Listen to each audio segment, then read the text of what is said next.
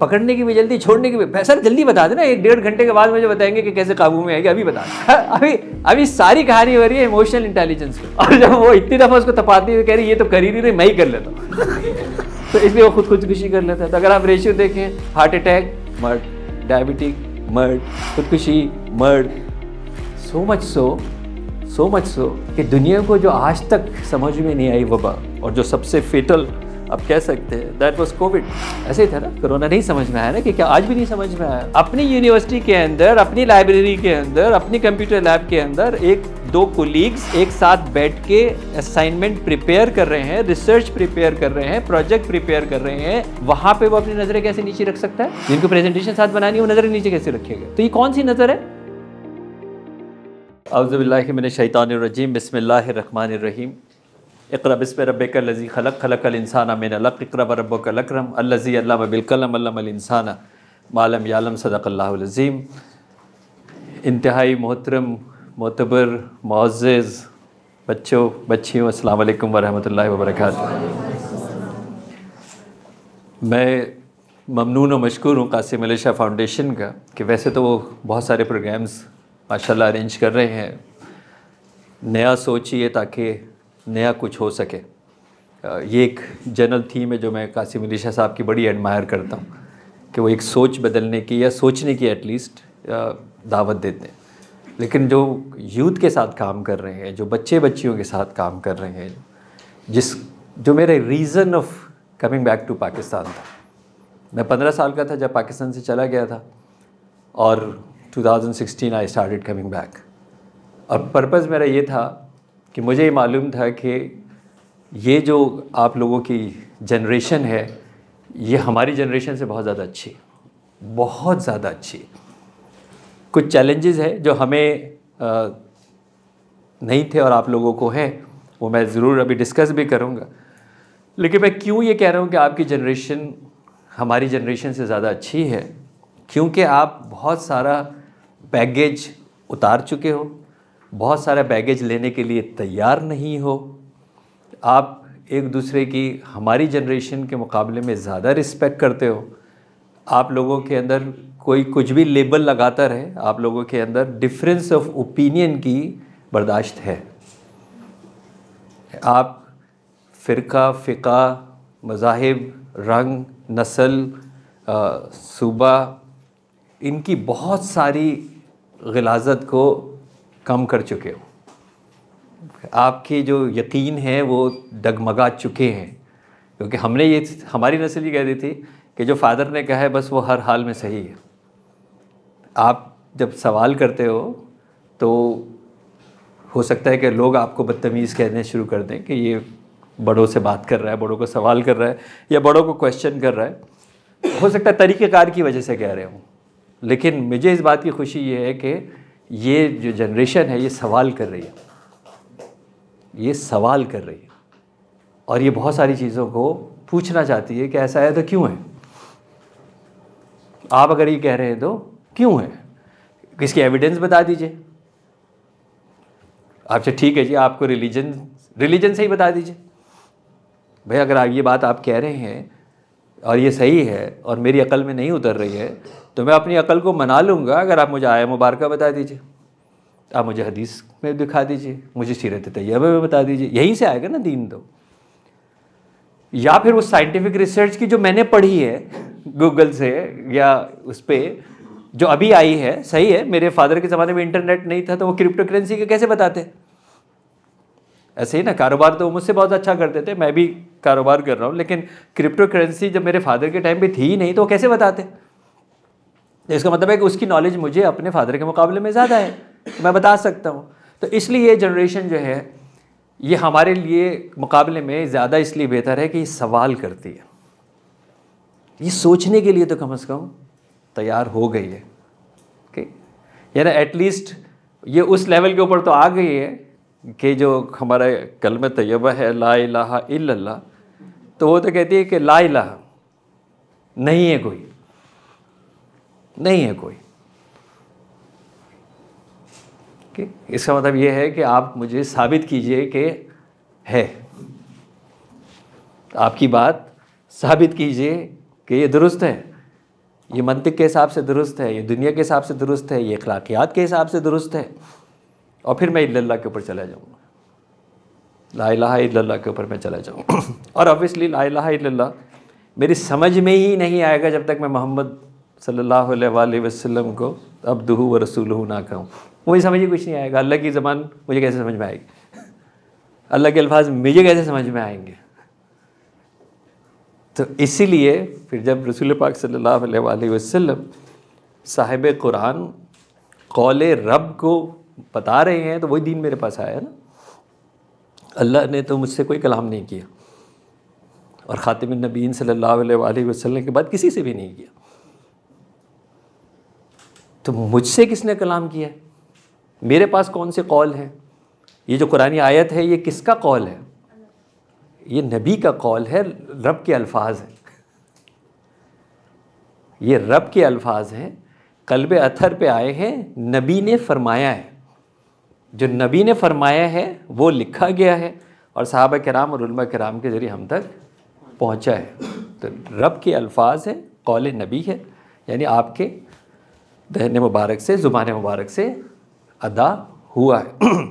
तो ये इसलिए खैर कासिम अली शाह फाउंडेशन, अल्लाह तबारक ताली इनके इस मकसद को मज़ीद उजागर करे। आज का जो टॉपिक था, वैसे तो मैं अभी लास्ट तीन दिन से जो है वो सफ़र के अंदर हूँ और मुख्तलिफ़ प्रोग्राम्स जो है वो करता हुआ आ रहा हूँ तो बिल्कुल ही ब्लैंक पहुँचा था।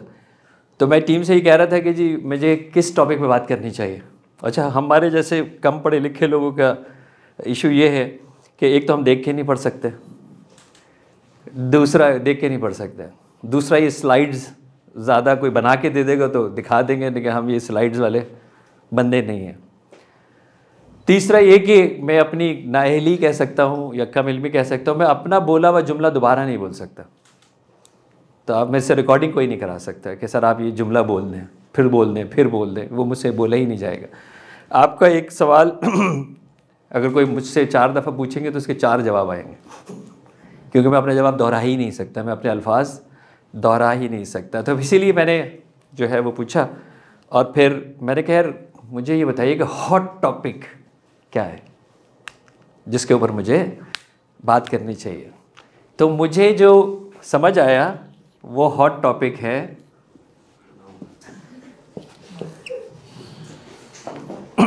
लव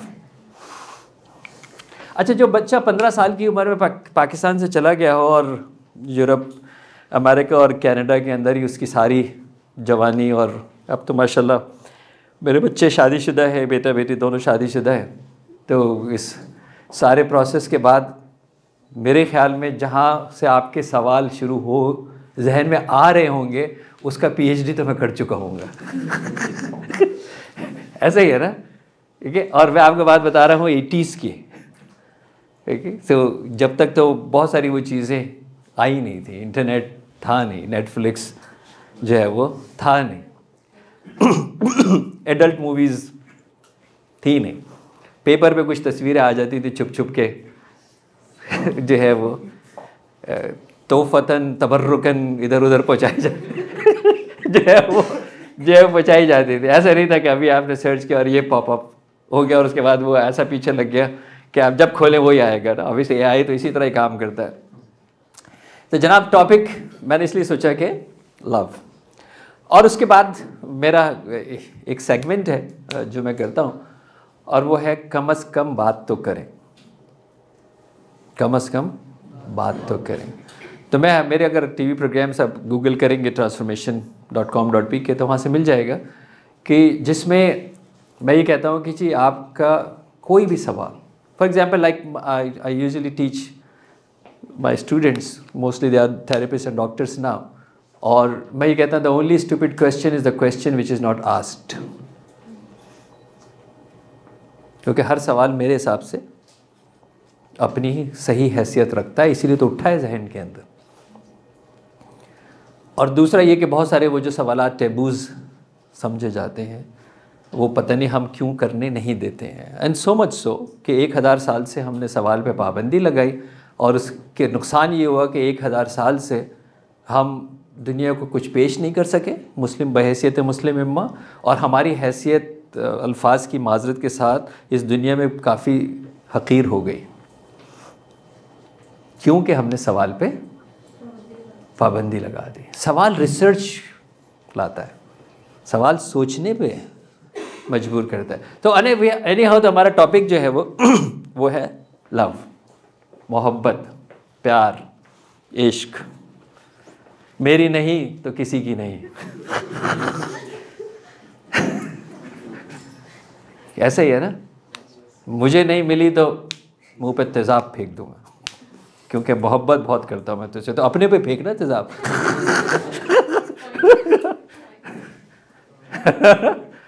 फिर तो अपने पे फेंक भाई, उस बेचारी पे क्यों? जो है वो फेंक रहा है। ऐसे ही है ना? और ये ये दोनों तरफ़ है। दोनों तरफ़ है। ऐसा नहीं है कि वो, हम क्या करते हैं कि जब टर्मिनोलॉजी यूज़ करते हैं तो हम मुजक्कर को यूज़ करते हैं ना? ही को हम ज़्यादा यूज़ करते हैं समझाने के लिए। बहुत सारे इस तरह के सवाल आते होते हैं। अल्लाह ताला जब, जो है वो, ही को क्यों कहा जाता है और शी क्यों नहीं कहा जाता? है इस तरह के सवाल हमारे जहनों के अंदर जो है वो आते हैं। लेकिन हम मुखातिब करने के लिए अगर किसी एक जेंडर को चूज़ करते हैं तो हम ही पे ज़्यादा एक्सप्लेन करते हैं। इसका कहीं ये मतलब नहीं है कि ये सारी जज्बात शी में नहीं होते। इससे बहुत ज़्यादा होते हैं, जहर तक दे देती है।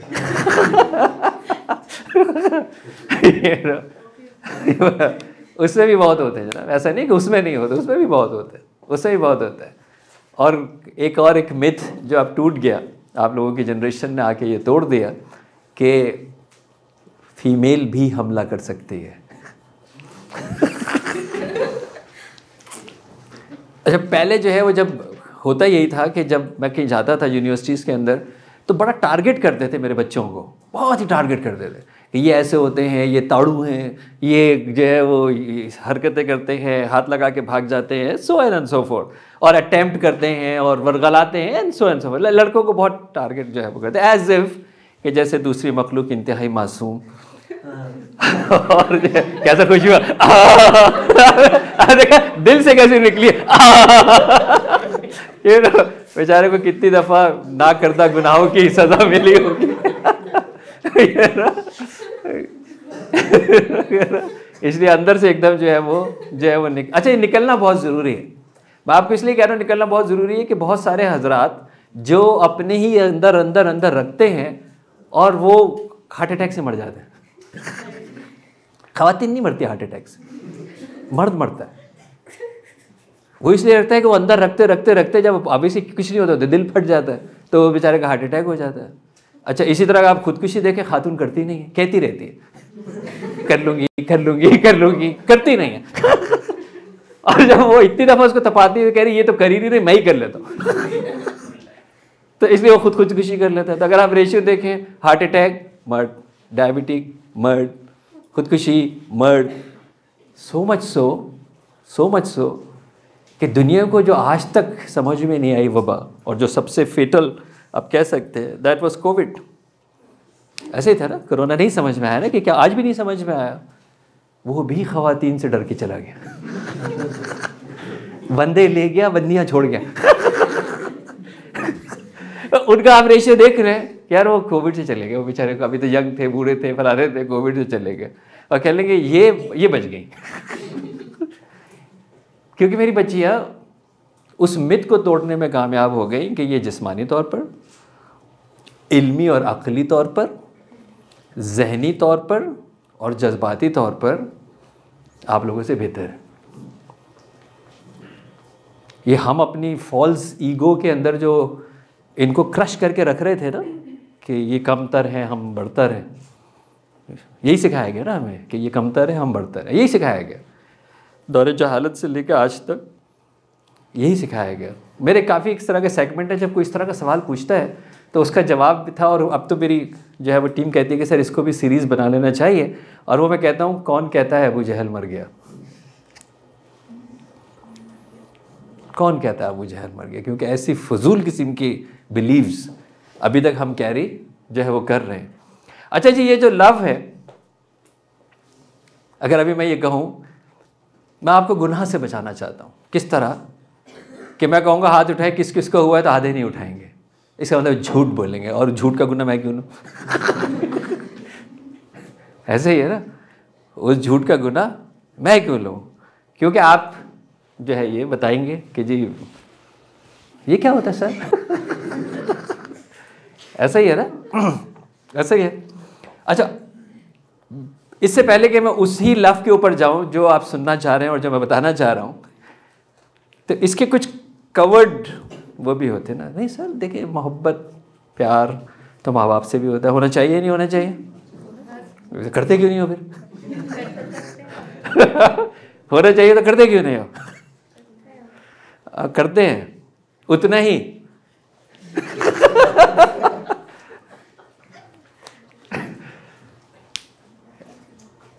इसी तरह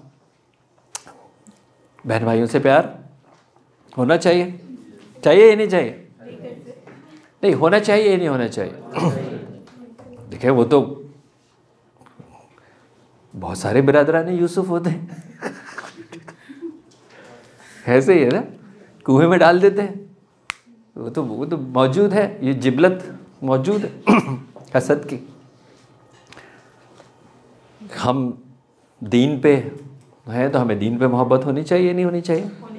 होनी चाहिए। हम जिस मुल्क में रहते हैं, जिस मुल्क में हम पैदा हुए हैं, उस मुल्क से हमें मोहब्बत होनी चाहिए। देखिए, फिर सबको अमेरिका का वीज़ा चाहिए, सबको ब्लू पासपोर्ट चाहिए। है अगर आप मुझे गूगल करेंगे कि सर वाह वाह वाह, बड़े अच्छे भाषण दे रहे हैं, खुद आप खुद कैनेडियन सिटीज़न हैं, खुद पंद्रह साल की उम्र में चले गए थे, खुद ब्लू पासपोर्ट होल्डर हैं, खुद आप खुद डिप्लोमेट हैं, और हमें कह रहे हैं कि यार होना चाहिए नहीं होना चाहिए। मेहमान से प्यार होना चाहिए? वो कह रहे नहीं, बिल्कुल नहीं होना चाहिए। अगर मेहमान गिफ्ट लाया तो ठीक है, वरना किस बात का प्यार होना चाहिए? मेहमान से प्यार होना चाहिए नहीं होना चाहिए? हुँ? होना चाहिए। मेहमान से प्यार? होना चाहिए।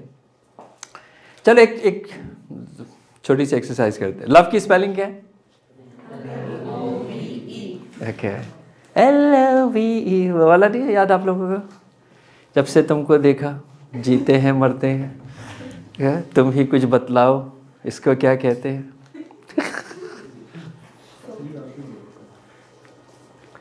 एल ओ वी ऐसे ही है ना?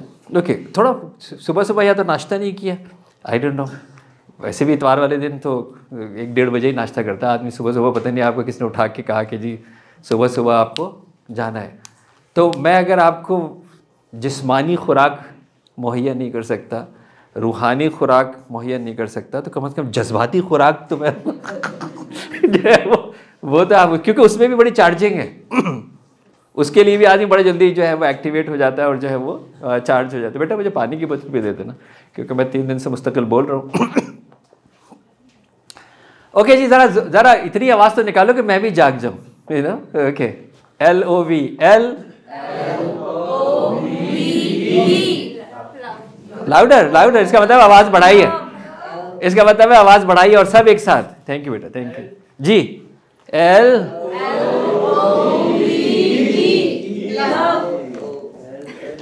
जारी रखें जनाब वी जारी रखें जारी रखें। ग्यारह दफ़ा के हमें सब एल ओ वी पढ़े आप।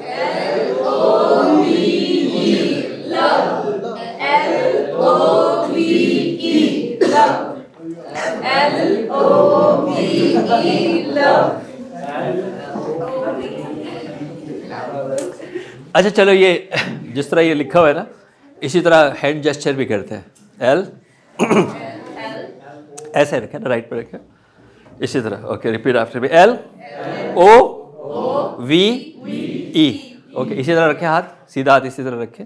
वो मुझे कहते ना, अहद करो कि मेरे साथ ही रहेगा तुम वो वाला अहद। Okay L O V E L O V E अच्छा आपको ये लव आ इसलिए नहीं रहा ना कि आपने कहा तो है कि यार मुल्क से मोहब्बत करनी चाहिए। करते थोड़ी हो, मुझे नहीं पता क्या। इसी तरह माँ बाप से करनी चाहिए, करते थोड़ी हो, मुझे नहीं पता। बहन भाइयों से कौन करता है मोहब्बत? और उसके बाद ये जो है ना तो वो आप सोचो कि लेट सपोज़ अगर मैं मेज़बान, आप मेज़बान और मैं मेहमान हूँ और यहाँ पे आया हूँ तो मेरे साथ आपको आपको मुझसे इखलाकी तौर पर मोहब्बत करनी चाहिए? चाहिए या नहीं चाहिए? तो वो ये वाले जज्बे से बोला ना L O V E L O V E L O V E L O V E L O look at your O O देखो ओ देखो, और उसके बाद अपनी थोड़ी पे रख लो। इसको अपनी थोड़ी पे रख या, इसको अपने चिन पे रख लो। इसको अपने चिन पे रख लो। वेरी गुड इसको चिन कहते हैं। इसको थोड़ी कहते हैं। पॉइंट मुझे ये आपको ये बताना था कि ये वाला जो तुम लव में गिरफ़्तार हो, जिसको आप इश्क मिजाजी भी कहते हैं ये इसी तरह ही कर रहे हो, जिस तरह भी आपने किया, कि आपकी थोड़ी यहाँ पहुँच गई। हमने सीखा ये कि हम वो करते हैं जो हम देखते हैं। हम वो नहीं करते जो हम सुनते हैं। आपने मुझको जो देखा, वो आप वो करते रहे। उसके बाद आपने देखा कि मैंने थोड़ी के ऊपर अपने गाल पे हाथ रखा, आप सबने अपने गाल पे हाथ रख लिया, और मैं कह रहा हूँ थोड़ी पे रखो, थोड़ी पे रखो, चिन पे रखो, थोड़ी पे रखो, थोड़ी पे रखो। क्योंकि मैंने यहाँ पे हाथ रखा हुआ है तो आप इसको मूव नहीं कर रहे। तो कम्युनिकेशन के अंदर, हमारी जो मेजॉरिटी ऑफ़ द कम्युनिकेशन है, वो नॉन वर्बल है। और हम वो करते हैं जो हम देखते हैं। तो जो आपने मोहब्बत देखी इंटरनेट पे टीवी पे, अपने आसपास होते हुए आपकी मोहब्बत की डेफिनेशन वही है। जो हो रहा है तो आपको भी जब एक दूसरे की तरफ़ ख्याल आया कि इसमें अट्रैक्शन है तो आप भी उसको, जो आपने देखा था, आपने अपनी उस मोहब्बत का इजहार उसी तरह किया बगैर समझे। और उसको आप मोहब्बत समझने भी लग गए। उसको आप मोहब्बत समझने भी लग गए। आपने ये देखा कि शादी का खाना खुल रहा है और जिस तरह लोग खा रहे हैं, मुझे उसी तरह छीना झपटी करनी है, उसी तरह मैंने निकालना है। आप एक रोड के दस्तरखान पे चले जाएँ या आप किसी भी फाइव स्टार होटल के छः हज़ार रुपये के इफ़ार डिनर पे चले जाएँ।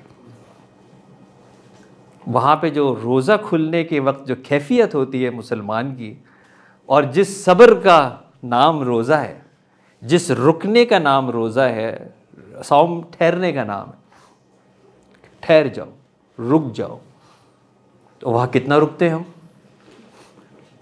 ऐसे ही है ना? तो हमने ये समझा कि क्योंकि ये इस तरह ही होता है तो हमें भी रोज़ा इसी तरह ही खोलना चाहिए। और हम उस भीड़ चाल के अंदर पहुँच जाते दूसरी चीज़ जब हमारे ऊपर जज्बात तारी होते हैं, जोश तारी होता है तो होश काम नहीं करता। ये दोनों एक साथ काम नहीं कर सकता। जोश में होश काम नहीं करेगा। ये टेक ओवर कर लेता है। तो आपको अपनी ज़िंदगी के अंदर कामयाब होना है तो इस वक्त जो आप लोगों ने अपनी किताबों की को समझ लिया कि ये हम आईक्यू बढ़ा लेंगे इंटेलिजेंस बढ़ा लेंगे कॉग्निशन बढ़ा लेंगे, अकल, समझ बढ़ा लेंगे। ये दुनिया में नहीं चलता ऑप्सलीट हो गया। आप दुनिया में इस वक्त अगर इंटेलिजेंस के जो दो मैार हैं, इस वक्त वो इमोशनल इंटेलिजेंस और सोशल इंटेलिजेंस आपको हर हाल में इंसान से प्यार करना है। हर हाल में इंसान से प्यार करना है। आपको हर हाल में हर इंसान से प्यार करना है। हर हाल में। उसके दो रीजंस हैं। एक तो कामयाबी का दारोमदार सोशल इंटेलिजेंस के ऊपर। आप दुनिया के अंदर पैदा हुए, कमज़ोर तरीन मखलूक पैदा हुए। सिवाय रोने का आपको कुछ नहीं आता था। और आई डोंट नो अभी भी यहाँ पे जो भी 18 साल से 25 साल के बच्चे, बच्चियाँ बैठी हैं, अभी भी रो रहे हैं। नहीं रही नहीं रही नहीं रही मुझे कोई नहीं मिला? ये नहीं मिला, ये नहीं मिला। रो ही रहे लाखों लोगों ने आपको बनाया। लाखों लोगों की वजह से आपने बोलना सीखा, पढ़ना सीखा, चलना सीखा, और जितनी चीज़ें आप इस्तेमाल कर रहे हैं, वो आपने नहीं बनाई हैं। ये कुर्सी से लेके ये कपड़ों तक, मेकअप से लेके इस घड़ी तक, आपने नहीं बनाया। लोगों ने बनाया जो आप इस्तेमाल कर रहे हैं। और फिर लोगों को भूल गए। इसी तरह आप जिस भी फ़ील्ड में जाएँगे, जिस भी फ़ील्ड में जाएँगे, आप प्रोडक्शन में जाएँ, आप सर्विस में जाएँ, जो भी आप मीशत इख्तियार करेंगे, उसका बेनिफिशरी कौन होगा? इंसान। ऐसे ही है ना? इंसान।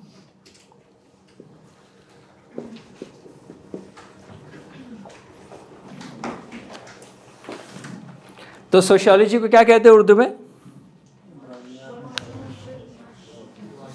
सोशोलॉजी को इमरानियात कहते तो मुझे ये पता लग गया कि मैं कुछ भी करूँगा, अपनी माशी आसूदगी के लिए उसका बेनिफिशियरी कौन होगा? इंसान। आप बैठ के अगर ऐप भी बना रहे हैं तो वो कौन यूज़ करेगा? इंसान। अगर मैं ओशनोग्राफी के ऊपर काम कर रहा हूँ मरीन लाइफ के ऊपर काम कर रहा हूँ इन्वायरमेंट के ऊपर काम कर रहा हूँ, उसका बेनिफिशियरी कौन होगा? इंसान। तो इसका मतलब ये है कि हर इंसान आपका पोटेंशियल कस्टमर है। आपको, आप मुझे बताएँ कि जब आप कोई चीज़ ख़रीदते हो और सेल्समैन ने अपनी पूरी जान लगा दी और सेल्समैन कामयाब हो गया और आप वो चीज़ ख़रीदने के लिए अपने वॉलेट से या बाइक से आपने पैसे निकाल लिए, यानी वो ट्रांसैक्शन कंप्लीट होने जा रही है, कभी सेल्समैन पूछता है कि, सर, आपका मसलक क्या है? आपका फ़िरका क्या है? आपका रंग, इलाका ओपिनियन क्या है? कहीं पूछता है? इसका मतलब ये है कि वो हो सकता है कि उसके जो भी बिलीव्स उसको कायम किए गए हों, वो सब भूल जाता है। वो सब भूल जाता है। क्योंकि उसको सेल करना है। क्या आप लोग चाहते हो कि जो भी आप बात करो, दूसरा वाला आपकी बात मान जाए? चाहते हो या नहीं चाहते? चाहते हैं ना? चाहे अपने टीचर से बात कर रहे हो, अपने पेरेंट्स से बात कर रहे हो, अपने कुलीग से बात कर रहे हो इवन अपने सो कॉल्ड मोहब्बत ज़दा से बात कर रहे हैं। चाहते तो ये ना, वो मेरी बात मान ले। तो एक्चुअली क्या कर रहे होते हो? सेलिंग मैं यहाँ पे आया हूँ मैं आपसे बात कर रहा हूँ। मैं मेरे अंदर एक ख्वाहिश क्या है कि आप मेरी बात समझ ले। है या नहीं है? Yes. तो एक्चुअली मैं क्या कर रहा हूँ? सेल कर रहा हूँ। तो we are built in sales people तो जो जितना अच्छा सेल्स पर्सन होगा वो उतना अच्छा कामयाब होगा। सो so, सबसे जो टॉप के ऊपर आपको पैसा कमाना है, उसके लिए आपको सोशली इंटेलिजेंट होना चाहिए। पैसा इसके बगैर नहीं आएगा जनाब। सोशली इंटेलिजेंट होना है, आपने। और फिर आप ये सारी चीज़ें बनाओगे ही जब जब आप इमोशनल इंटेलिजेंट हो। और आपको होश में ज़्यादा रहना है जोश के मुकाबले में। तो वो लोग जो अपने एक रिलेशनशिप के अंदर, होश का दामन काबू में रखते हैं, वो कम रोते, उनको कम निदामत होती है। आपकी जनरेशन के अंदर, कुछ लोगों के अंदर ये यार, उस वक्त तो बड़ा बुरा लगा था जब वो किसी और से बात करने के लिए चली गई और वो किसी और को गोली दे के निकल लिया। उस वक्त ऑब्वियसली बुरा लग रहा होता है कि ये क्या हो गया? धोखा हो गया। सेंस ऑफ़ रिजेक्शन आ गया। कि यार मतलब उसको समझ ही कुछ नहीं आया। उसके अंदर ऐसी क्या चीज़ थी? मुझको छोड़ के उसको उसको छोड़ के उसको, आप खम खमा पे कंपैरिजन कर रहे हैं कि ऐसी क्या चीज़ जो थी। क्योंकि हालाँकि आपकी कोई अटैचमेंट हो गई थी या डिपेंडेंसी हो गई थी। इमोशनली कमज़ोर शख्स रिश्तों में बहुत नुकसान उठाता है। बहुत नुकसान उठाता है। अब वो रिश्ता माँ का अपने बच्चों के साथ हो, बाप का अपने बच्चों के साथ हो, दोस्त का, दोस्त के साथ हो, या ऑपोजिट जेंडर मोहब्बत का ख्याल हो। बहुत नुकसान उठाता ये जो इश्क मिजाजी की बात करते हैं ना, हम में से, हम में से बहुत मुश्किल है कि कोई ये दावा करे कि मैं इश्क करता हूँ। गाने सुनना एक अलग बात है, बोलना एक अलग बात है लंबी लंबी छोड़ना एक ये जो है वो अलग बात है। I highly highly highly doubt के, कि वो इश्क के लेवल पे होता है। फॉर एग्ज़ाम्पल बहुत सारे आप लोग मुझसे काउंटर कर सकते हैं कि, नहीं सर, माँ से ज़्यादा बच्चे को, माँ प्यार नहीं करती, माँ अपने बच्चे से इश्क करती है, ख़ुद जो है वो उसके पेशाब में, गीले में सोती है, उसको सूखे में सुलाती है ताकि उसको ठंड ना लग जाए। ऐसा ही ऐसा ही होता है, होता भी ऐसा ही। क्या ये इश्क का लेवल है? नहीं, अभी तो बेटा, अभी तो देखो, एक जल्दी कितनी है। पकड़ने की भी जल्दी, छोड़ने की भी। सर, जल्दी बता देना, एक डेढ़ घंटे के बाद मुझे बताएँगे कि कैसे काबू में आएगी, अभी बता दे। अभी अभी सारी कहानी हो रही है इमोशनल इंटेलिजेंस पर यानी जज्बात के ठहराव पे बात हो रही है। सर, जल्दी से बता दें। बर्दाश्त ही नहीं हो रहा। इतनी लंबी कहानी। ये वाली अगर उतरती है तो ठीक है, नहीं तो दूसरी। वे भी लाइन में है, सर। ऐसा है, आप लोगों ने नहीं सुना वो? जब ये का, ये जो रिश्ते वाली आती है ना मैं तो हुक्मरान नहीं हूँ, इंसान से नफ़रत नहीं कर सकता, लेकिन उनके तरीक़ेकार के ऊपर मुझे बड़े शदीद तहफ़ात कि जिस तरह वो ये सेल कर रही होती है ना, आप कर लें, नहीं तो हाथ से निकल जाएगा। अच्छा भाई, कोई कबूतर का बच्चा है उड़ जाएगा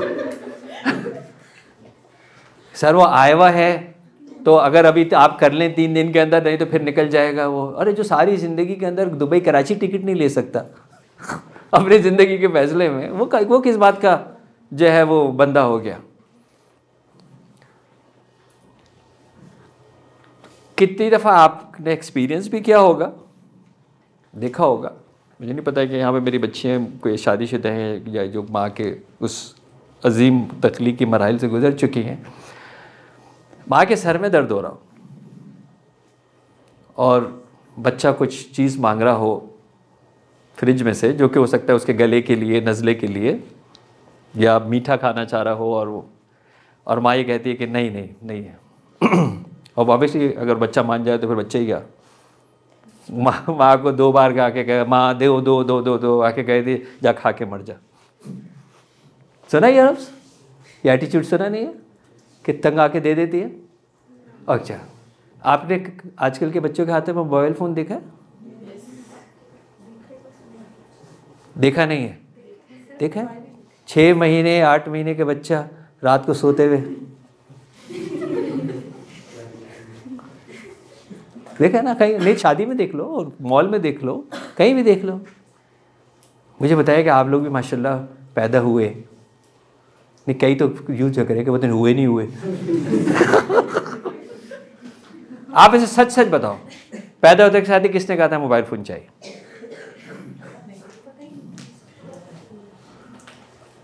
सोडा चाहिए, चिप्स चाहिए। पैदा होते कहा किसी ने दिया। किसी ने दिया ही होगा ना। या पैदा होते के साथ ये मैं अरे माँ, ठहरे तू क्या? करके मैं खुद ही ले लेता हूँ। मुझे पता है फ्रिज के तीसरे खाने में रखा हुआ है, छुपा के तूने। ते मेरे अब्बा ना पी जाए। मैं खुद ही निकाल रहा था ऐसा तो नहीं होता ना। किसी ने दिया या नहीं दिया? माँ ने दिया ना? तो इश्क था क्या? बच्चे को कीड़े मार दवाई से ज़्यादा खतरनाक चीज़ दे रही है, इश्क में दे रही है क्या? ऐसे ही है ना? इश्क में दे रही है क्या? तो बेटा, इश्क तो तुम्हारे बस की बात है नहीं। तो कम से कम उसको डाइल्यूट करने के लिए इस पे आ जाओ।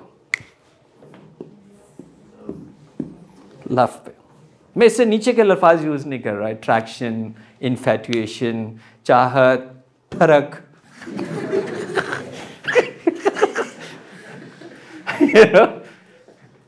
तो चलो इस पे आए ना। सर, इश्क मिजाज ही बताए। वो तुम्हारे बस की कहानी नहीं है। वो इंसान के बस की कहानी नहीं है। जब तक वो अपने आप को इतना एलिवेट ना कर ले। Okay? जो इतना एलिवेट ना कर ले वो लव के अंदर एक चीज़ सीख लो बच्चों। ये कंडीशनल होती है।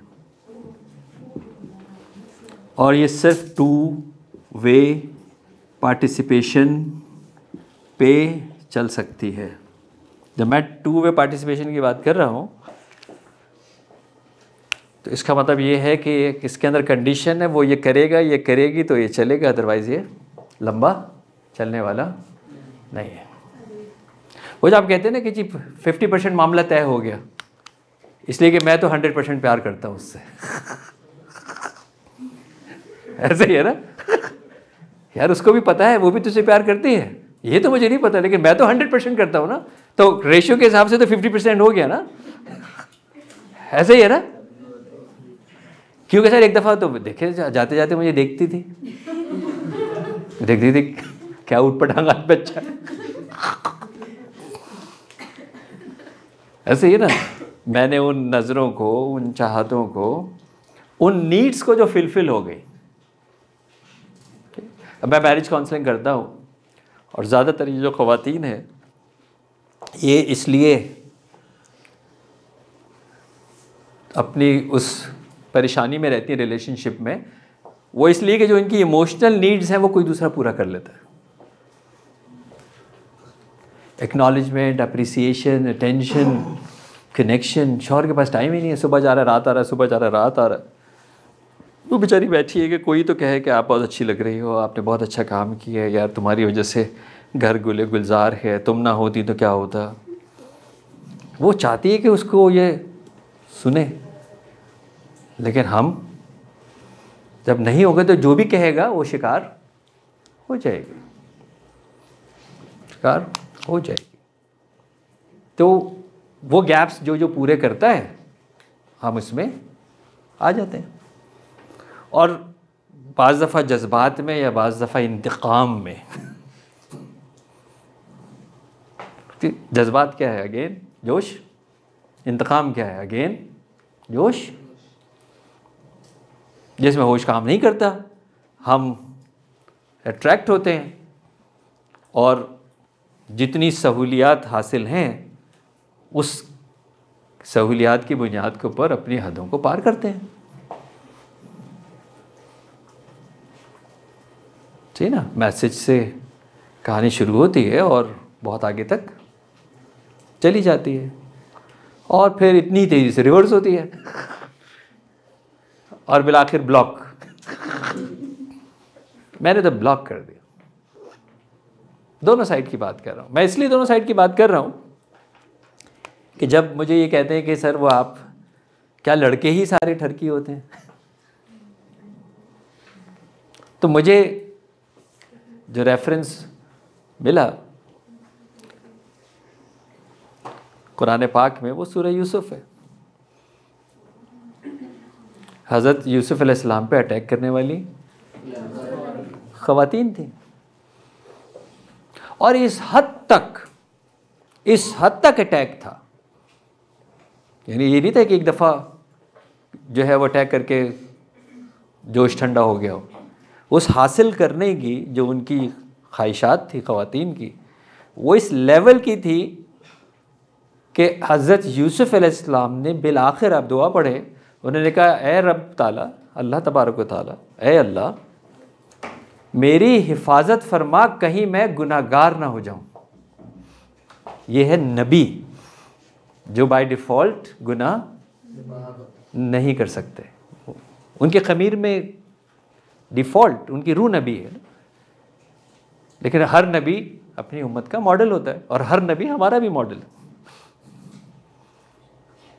वो कहने पे मजबूर हो जाएँ कि जी, ये how will I protect myself इतने अटैम्प्ट होते हैं, इतने अटैम्प्ट होते हैं कि उन्होंने कहा कि जी, एक ऐसा मौका आता है कि सिर्फ़ अल्लाह ही बचा सकता है। बंदा उस टेम्पटेशन को या उस अटैक को या उस फोर्स को नहीं बर्दाश्त कर पाता, नहीं बर्दाश्त कर पाता। और ये फैक्ट है कि सामने आपको भूख लगी हो और सामने आपको आपकी मनपसंद बेहतरीन चीज़ रखी हुई हो, आपके पास एक लिमिट है कि आप उसको कब तक नहीं खाएँगे।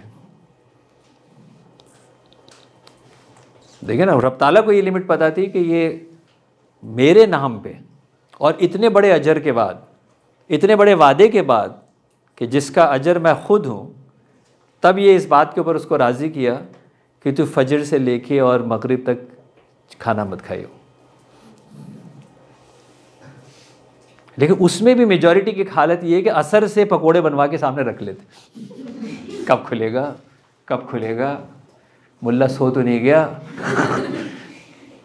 खुद खा रहा होगा, फिर अजान देगा। ये नहीं पहले अजान दे दे, फिर।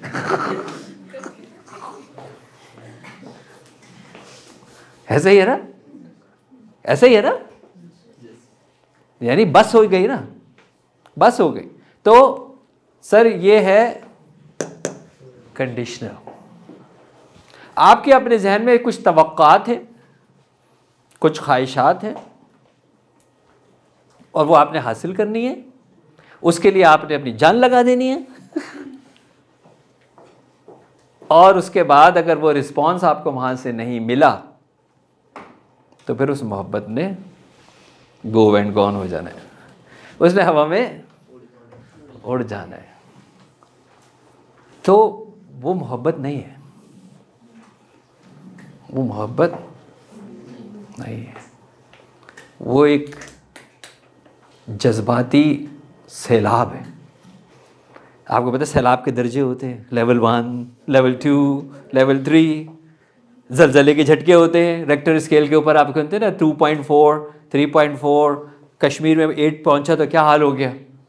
और कई जगह तो ये आते शीशा बन के फटता है। ऐसे ही है ना? तो ये जो जज्बाती इंतशार है, उसको आप कहते हो मोहब्बत। उसको आप कहते हो कि ये, सर ये सच्ची मोहब्बत है। अच्छा भाई, अगले साल पूछूँगा मैं तुझसे, तेरी सच्ची मोहब्बत कहाँ पे है? सच्ची मोहब्बत कहाँ पे है? इश्क का जो लेवल है ना, इश्क इज़ वन वे इश्क इज़ वन वे इसका मतलब ये है कि whatever that person is hundred percent acceptable to me मेरी कोई तवक़ात नहीं है। कोई तवक़ात नहीं है कि मुझे कुछ हासिल होगा या मुझे कुछ चाहिए उस शख्स से। इसलिए मैं कहता हूँ कि ये नहीं होगा। या आप इस जनरेशन से नहीं होगा। क्योंकि जब हम इश्क खुदाबंदी की बात करते हैं, वो भी हमसे कहाँ हो सकता है? हम जैसे कमज़ोर लोग कहाँ इश्क खुदाबंदी का दावा कर सकते हैं? कंडीशनल है। अल्लाह ये करेगा तो ये करूँगा, अल्लाह नहीं करेगा तो ये नहीं करूँगा। दुआ पूरी होगी तो शुक्र अदा करूँगा, नहीं होगी तो किस बात का शुक्र अदा करूँगा? कौन सा काम कर दिया मेरा? सबको छोड़ के मुझे ही फेल कर दिया। एज इफ़ अल्लाह ताला आया रात को, उसने आपको अंधा कर दिया, ताकि आप लिख नहीं सको और आप भूल गए, और उसके बाद देखा, देखो अल्लाह ने मुझे फेल कर दिया। यही है ना हमारे रवैये। यानी आप इस, हमें समझाने के लिए दो स्टेजेस बताए, इश्क खुदाबंदी में सब्र और शुक्र। इश्क खुदाबंदी वाले सब्र नहीं करता। इश्क खुदाबंदी वाला सब्र नहीं करता। वो सिर्फ़ शुक्र अदा करता है। वो कहता है, मेरे मालिक ने मेरे लिए ये चूज़ किया, शुक्र। मेरे मालिक ने मेरे लिए ये चूज़ किया है, ये बीमारी चूज़ की है, ये आजमाइश चूज़ की है, ये नुकसान चूज़ किया है, शुक्र है। किस बात का शुक्र है? मुझसे कनेक्टेड है ना। मुझे डिस्कार्ड नहीं किया, मुझे अपने से दूर नहीं किया। मुझे अपनी मखलूक से आज़ाद नहीं किया। तवज्जो तो है ना? और उसकी तवज्जो उसके लिए काफ़ी है। सो इश्क इज़ ऑब्वियसली वन वे कोई कितने भी बड़े दावे कर ले। अब मुझसे सवाल पूछो कि मैं हर एग्ज़ाम्पल का आपको बता दूँगा कि ये कब बेल्ट होके कहाँ पर ख़त्म होने वाला है।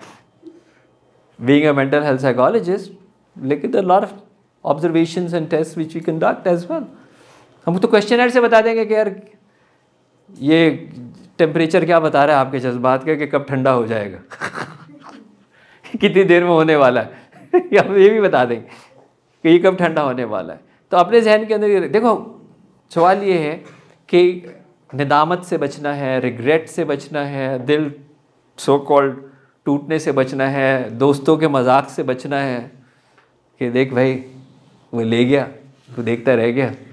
दावे बड़ा कर रहा था, आधे शहर को बता दिया, तेरी भाभी आ रही।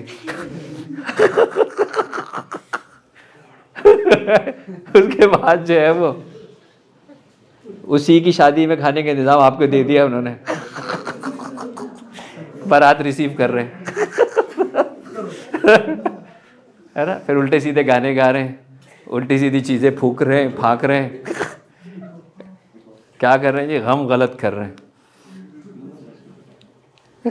ऐसे ही है ना? और बच्चियाँ भी बच्चियाँ भी इसी तरह के कुछ इजहार जो है वो कर रही होती हैं। इसी तरह कर रही होती हैं। तो अंडरस्टैंड इमोशंस और उस इमोशंस की मैनेजमेंट करने वाला शख्स इमोशनली इंटेलिजेंट होता है।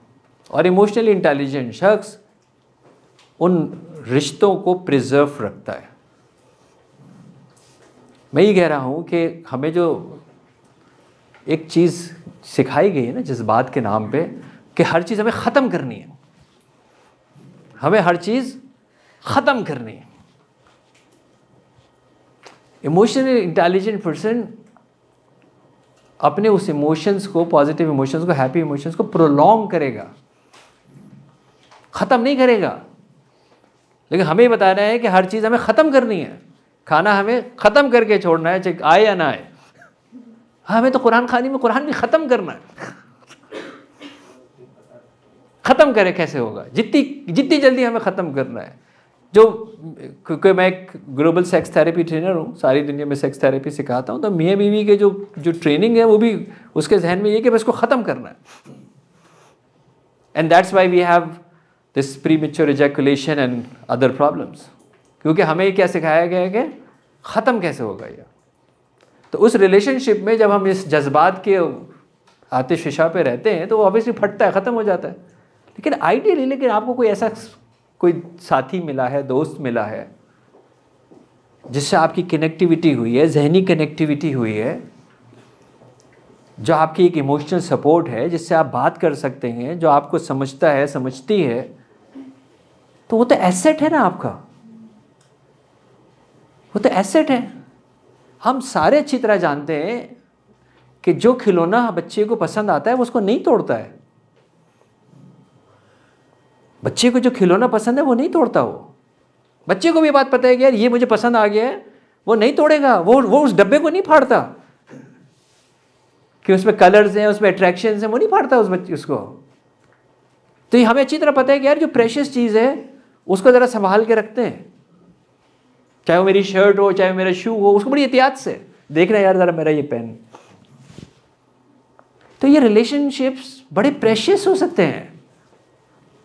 अगर आप इसको इमोशंस में रहते हुए इसको प्रिजर्व करो कि आपके साथ एक ऐसा क्लासमेट है, आपके साथ एक ऐसा यूनिवर्सिटी का पर्सन है मेल है या फीमेल है, कि जो कि आपकी केयर करता या करती है, जो आपकी बात समझता और समझती है जिससे आप फ्रीली अपने प्रॉब्लम डिस्कस करते हैं और जो आपको ये बता सकता है, या बता सकती है कि यार ये क्या बेवकूफ़ी की बात कर रहे हो। मतलब इसमें तो कोई फ़ायदा ही नहीं है। उससे बदले लेने में तुम्हें क्या फ़ायदा होगा फिर? मैं चार, आप चार मारोगे, एक तो वो भी मारेगा। उसका फ़ायदा? उसे क्या होगा?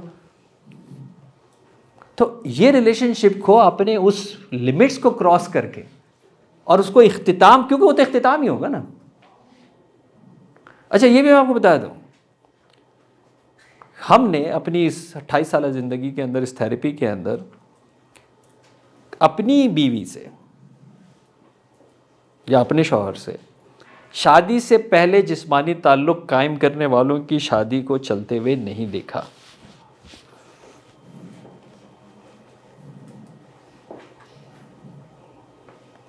उसके अंदर दरारें आती ही आती हैं। उसके अंदर जिस्मानी और जज्बाती और जहनी दूरियाँ आती ही आती हैं। हमने वहाँ तक भी देखा जहाँ बच्चे जवान हो गए। और उसके बाद फिर आतिफ शाह दोनों में से किसी साइड पे फटा और उसके बाद सारी सिचुएशन है वो अगली हो गई। सिर्फ़ ये था, हालाँकि आप कहेंगे, यार, ये तो चलो, ये तो बहुत ही कोई अच्छा आदमी था, उसी से उसने शादी भी कर ली, निकाह भी कर लिया, शादी भी दस, पंद्रह, बीस साल चल गई। ऐसे ही ना अपेरेंटली तो यही लगेगा। लेकिन हमें being a psychologist being a sexologist मैं आपको अपना एक्सपीरियंस बता रहा हूँ, और अब अब तो सर्चेबल है ना, आपको, देखें, आप लोगों की नेचर का फ़ायदा है कि मैंने यहाँ जो भी कहानी की, आप यहीं बैठे बैठे गूगल करोगे, कह रहे सर, ये क्या फरमा रहे हैं आप? आपकी रिस्पेक्ट कर रहा हूँ काफ़ी, लेकिन ये ऐसा है नहीं जो आप कह रहे मैं तो आपको गूगल बता रहा हूँ ना गूगल हर चीज़ में बताता हूँ गूगल मैं अपना रिलीजन इस्लाम पेश करता हूँ evidence based not faith based अगर मैं इस्लाम की कोई बात बताइए तो मैं कभी नहीं कहता कि जी मैं क्योंकि मैं मुसलमान हूँ इसलिए आप मान लो। अब मेरी मन, आपकी मंतिक पर उतरता है तो आप इसको रिव्यू कर लो।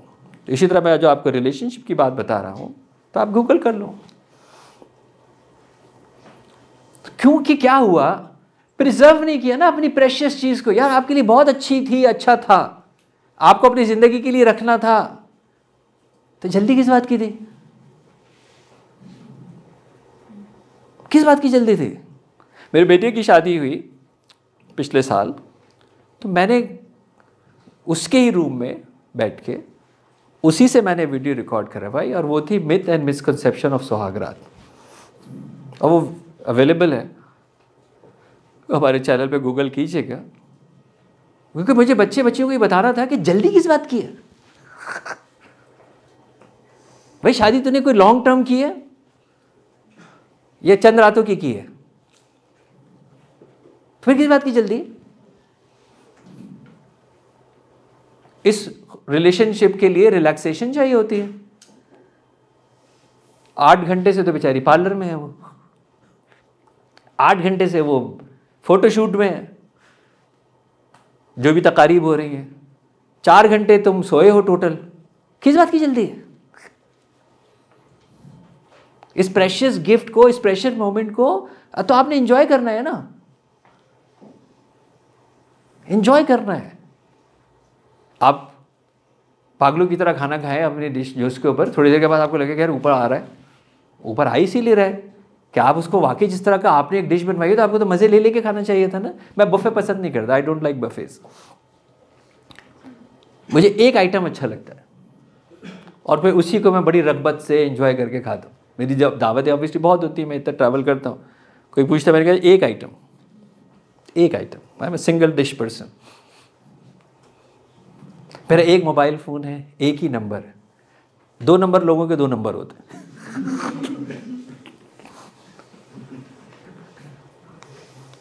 कुछ भी रीज़न ले लें आप। हाँ जी, आप मेरा ऑफ़िस है तो ऑफ़िस वाले उठाते हैं। मेरे तो खैर, मेरा फ़ोन भी सारी कोई कोई भी उठा लेते हैं मेरा फ़ोन अक्सर तो ढूंढ ही रहे होते कभी मेरा ड्राइवर ढूंढ रहा होता है, कभी मेरे बच्चे ढूंढ रहे होते हैं, कभी मेरा हमारा ऑफ़िस भी चार फ्लोर पे, कभी वो ढूंढ रहे होते हैं। कोई भी उठा लेता है मेरा फ़ोन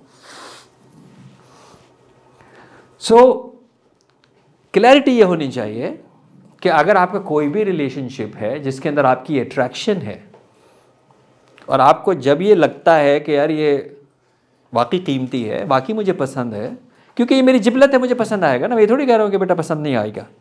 या अच्छा नहीं लगेगा या अच्छी नहीं लगेगी।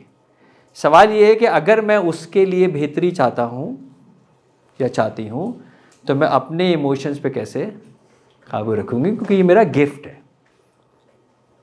मेरा गिफ्ट है। और मैं इसलिए कह रहा हूँ कि ये इतना मुश्किल काम है कि मेरे दीन ने बड़ा क्लियर बताया रिलेशनशिप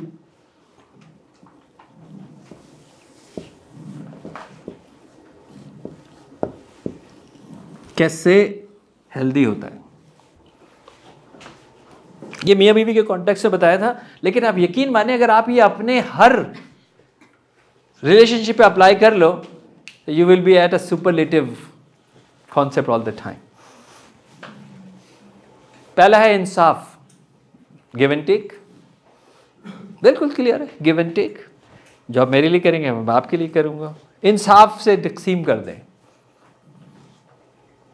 ये पैसे मिले हैं, इंसाफ से तकसीम कर दें. फॉर एग्ज़ाम्पल यहाँ पे एक एक ईद ईदी आती है. ऐसे ही ना, ईदी आ जाती है. कि यार ये बच्चे हैं, मैं भी ऑब्वियसली बहुत सारी ईदी इसी तरह तकसीम करता हूँ. बहुत से लोग ईदी तकसीम करते हैं. बच्चों बच्चियों को. यहाँ पे एक ईदी आ जाती है और वो कहते हैं कि जी, ये बच्चे तो आप ऐसे करें, इसके अंदर तकसीम कर दो। तो बड़ा आसान ये होगा कि क्या करेंगे, ये काउंट करेंगे? ये फिफ्टी है लेट सपोज़ और उन्होंने कहा कि सर, ये पचास हज़ार आए हैं या पाँच हज़ार आए हैं डिवाइड बाई फिफ्टी इंसाफ हुआ या नहीं हुआ? आपके हिसाब से इंसाफ हुआ या नहीं हुआ? बताइए। हुआ। ये ये लीस्ट रिलेशनशिप का दर्जा है। जिसको हम कहते हैं इंसाफ होना चाहिए, ये लीस्ट लेवल है रिलेशनशिप का। लीस्ट लेवल सबसे बॉटम का लेवल दूसरा क्या है? अदल। अदल का मतलब ये है कि जिसको ज़्यादा ज़रूरत है, उस हिसाब से तकसीम कर लेते हैं। ओके यहाँ बच्चियाँ बैठी हैं तो हो सकता है वो दूर से आई हों, उसको गेज कर लें। जहाँ कुछ बच्चे ऐसे हैं जो हो सकता है कि इतने वेल ऑफ़ ना हो, उसको गेज कर लें। और अब उनकी ज़रूरत के हिसाब से हम इसको तकसीम कर लेते हैं। तो हो सकता है किसी को सौ मिले तो किसी को पचहत्तर मिले तो किसी को पच्चीस मिले, हो सकता है किसी दो सौ मिले। ऐसे ही होगा ना? तो अब हम तकसीम क्या कर रहे हैं? अदल की बुनियाद के ऊपर। जिसकी जितनी ज़रूरत है, हम उसके हिसाब से उसको तकसीम कर लेते हैं। ये इंसाफ का नेक्स्ट लेवल है। ऐसे ही है? ऐसे ही है ना? तीसरा ये है, वो ये कि जस जिसके पास ये आ गया। अब वो इस चक्कर में है कि मैं किसी तरह किसी और को दे दूँ ये। यार, मेरे पास सौ रुपये मिले, मैं शायद इसके बगैर भी गुजारा कर सकता हूँ। ऐसा करता हूँ यार, ये तुम रख लो। ये तुम रख लो। यानी अब ये सेल्फ हो गया कि मुझे सिर्फ़ अपने से बियॉन्ड सामने वाले की फ़िक्र है कि यार ये तुम रख लो। ये तुम्हारे लिए सही है। तो मियाँ बीवी के रिलेशनशिप के अंदर कुरान ये कहता है कि ना तो ये इंसाफ पे कायम होता है, ना ये अदल पे कायम होता है, ये एहसान पर कायम होता है। When the life partner will be living for each other उसका काम ये है कि मैं इसको ज़्यादा पहुँचा दूँ, उसका काम ये कि मैं इसको ज़्यादा पहुँचा दूँ। हक मेरा है, लेकिन मैंने कुर्बानी देनी है और इसको ज़्यादा देना है। तो अब क्या हो गया ये? एहसान। एहसान ऐसे में हुसन से निकला है, हसीन। एक्सेलेंस एक्सेलेंस लेवल क्या है? एहसान उस दर्जे का नाम है। तो अब रिलेशनशिप के अंदर आप किसी भी रिलेशनशिप के अंदर आ जाओ। एक हज़ार रुपये की जो है वो बात हुई। मैंने एक हज़ार रुपये का सामान दे दिया और उसके बाद मैंने कोई और चीज़ भी उठा के दे दी कि यार ये ज़रा, ये भी तुम मेरी तरफ़ से ले लो। डील होने के बाद मैंने फर्दर कम कर दिए। चलो यार, आप तो बहुत ही अच्छे आदमी हो। मैंने गेज के लिए, चलो यार, नौ सौ ही दे दो। यार हज़ार? नहीं यार, नहीं, नौ सौ ही दे दो। तो अपेरेंटली क्या लग रहा है सौ रुपये का नुकसान? लेकिन उसको क्या, उसका जज्बा क्या है? बस ज़्यादा देना है। मैं यहाँ पे एक घंटे के लिए यार कुछ ज़्यादा क्या दूँ? इसको ये चाहिए, मैं ज़्यादा मैं ज़्यादा कैसे दूँ? अब वो वक्त हो सकता है। आपसे किसी स्टूडेंट ने हेल्प मांगी, आप बैठे, आपने उसको प्रॉब्लम सॉल्व करा दिया, आपने उसको सब्जेक्ट करा दिया, उसने कहा, यार थैंक यू यार मतलब मेरा तो पर्चा रह गया था। अगर तू मुझे नहीं समझा था, आपने फ़ौरन कहा अच्छा यार, कोई और पर्चा? अच्छा वो अपने कोई होमवर्क कोई दिखा। वो असाइनमेंट अच्छा मैं बैठा हूँ, जब तक तो ये सॉल्व करा, अपना असाइनमेंट दिखा। यानी उसने नहीं मांगा है। लेकिन आप में गिविंग मोड है। मुझे देना है। एहसान वाला शख्स कभी नुकसान के बारे में सोच सकता है? सोच सकता है? नहीं सोच सकता ना। तो अगर आप अपने इस लेवल के ऊपर भी, इस लेवल के ऊपर ऑपरेट करने की प्रॉब्लम करो तो क्या यह हो सकता है कि आप उस बच्ची की इज़्ज़त के साथ खेल जाओ? क्या हो सकता है कि ऐसा कोई काम कर जाओ जिससे वो मोहल्ले में बदनाम हो जाए? क्या ऐसा हो सकता है कि ऐसी कोई चीज़ जिसके ऊपर उसकी इज़्ज़त के ऊपर कोई हर्फ आ जाए? ऐसा हो सकता है?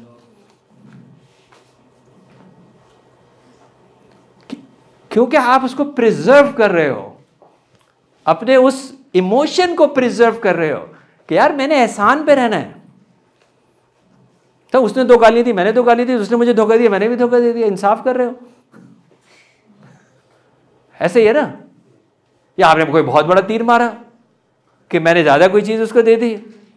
आपको पता है उसे तो रात को के मांग लिया घर से निकलने की इजाज़त नहीं थी दीवार पहन के तो कूदा अब्बा के पर्स में से पैसे निकाले दोस्त के साथ मोटरसाइकिल मंगवाई पहुँचा जो भी इशारे सेट हुए थे उससे बताया और वो लड़की बेवकूफ़ समझ रही है कि ये बहुत ही अच्छा लड़का है जो रात को तीन बजे मेरी खातिर आ सकता है, वो पूरी ज़िंदगी मेरे लिए क्या क्या करेगा? जब तक तुम हासिल नहीं हुई हो, ये सब करेगा।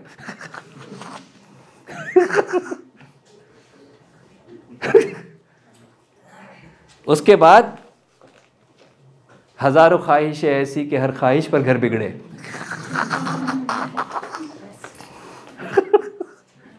फिर वो होगा। ऐसे ही है ना? तो मैं आपको उस क्लैरिटी पे कह रहा हूँ कि जिस वक्त आपने बच्चों ये सीख लिया कि मैंने ये वाला ऑपरेट करना है, मैं तो आपको कह ही नहीं रहा कि लड़का लड़की बात ना करें। मैं तो इस, मैं तो ये कह रहा हूँ कि ये बच्चियाँ बाहर कैसे निकलें? ये बच्चियाँ काम कैसे करें? ये बच्चे, बच्चियाँ कंट्रीब्यूट कैसे करें सोसाइटी के अंदर? तो इनको कैसे प्रिजर्व करें? उस बाउंड्री को कैसे प्रिजर्व करें? जहाँ पे मैं बहुत आराम से क्वेश्चन भेजूं और उसका आंसर मिल जाए असाइनमेंट में हेल्प हो जाए और मैं बड़े फ़ख्र के साथ अपने घर में, अपनी फैमिली में, उसकी फैमिली में रोड पे स्कूल कॉलेज में यूनिवर्सिटी में फ़ख्र से कह रही यार थैंक यू खालदा, हमदा, राजदा, जो भी आपका नाम है कि आपने मुझे असाइनमेंट भेजा, या अपने जो भी आपके कज़न हैं, या अम्मी अबू हैं, या कोई भी, यार, ये ये हमारी क्लासमेट है, इसने मेरी बड़ी हेल्प की थी, बड़े सही टाइम के ऊपर मुझे भेजा था।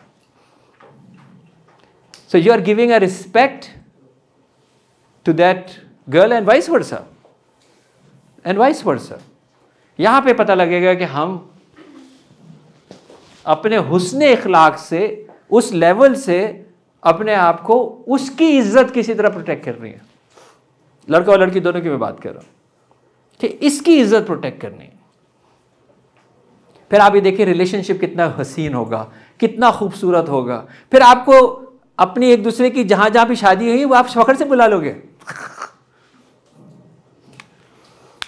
क्या मेरी शादी में आना? तुमसे तो नहीं हो सकी। जो भी एक्सवाइजेड रीजंस थे। लेकिन शादी में आइएगा। घर आऊँगा कार्ड देने के लिए। अब आप शर्मिंदगी में तो नहीं जाएँगे ना। अब आपके बाद, आपके कुलीग आपको मामू मामू मामू के छेड़ेंगे भी नहीं। क्योंकि आपने बताया ना कि लिमिट क्या थी? Because you respected that limit तो इस लेवल से अगर आप अपने आप को रियलिस्टिक वर्ल्ड में रहते हो so that will be a very good option for you कि मुझे अपने रिलेशनशिप कैसे रखने चाहिए। ओके मुझे अपने रिलेशनशिप कैसे रखने चाहिए? तो ना तो मैंने आपका गला घोटा, ना मैंने आपको लानतान की, ना मैंने आपको कहा कि ख़बरदार जो बात की, और ना मैंने ख़बरदार आपको ये किया। क्योंकि जब कुरान पाक ने बताया ना कि पहले मर्दों को कहा, फिर औरतों को कहा कि आपस के ताल्लुकात में अपनी नज़रों को नीचे रखा करो। वो ये नहीं था कि यूँ चलेगा। वो तो टकरा जाएगा दीवार से। फिर तो दीवार से टकरा जाएगा। अपनी यूनिवर्सिटी के अंदर, अपनी लाइब्रेरी के अंदर, अपनी कंप्यूटर लैब के अंदर एक, दो कोलीग्स एक साथ बैठ के असाइनमेंट प्रिपेयर कर रहे हैं रिसर्च प्रिपेयर कर रहे हैं प्रोजेक्ट प्रिपेयर कर रहे हैं, वहाँ पे वो अपनी नज़रें कैसे नीचे रख सकता है? जिनको प्रेजेंटेशन साथ बनानी है, वो नज़र नीचे कैसे रखेगा? तो ये कौन सी नज़र है? रिस्पेक्ट रिस्पेक्ट कि मुझे उसकी रिस्पेक्ट रखनी है। फिर आपको भी अच्छा फील होगा। Because what you are looking at is emotional attachment and which you are getting which you are getting आपको इमोशनल अटैचमेंट चाहिए थे, आपको इमोशनल सेटिस्फैक्शन चाहिए थी विच यू आर गेटिंग वो इमोशनल अटैचमेंट सेटिस्फेक्शन आपको मिलेगी तो ये फ़िज़िकल का बुखार नहीं चढ़ेगा। वो नहीं चढ़ेगा। क्योंकि आपको पता है कि मैंने उसकी सेंटिटी को बरकरार रखना है, अपने से ज़्यादा। और वो भी इसी तरह सोच रही है। वो भी इसी तरह जो है वो सोच रही है। So that's how this I hope I was able to explain इश्क, मोहब्बत, लव, चाहत, बर्बादी, ठरक। Okay, if you have any questions, i think we have 30 minutes, we can go for question answers. Qasim Ali Shah foundation की इतनी dedicated team ने आप लोगों के लिए इतना प्रोग्राम जो है वो बनाया। कम से कम अपने खुशी के और शुक्रिया के इजहार के लिए, इनके लिए तो तालियाँ जो है वो।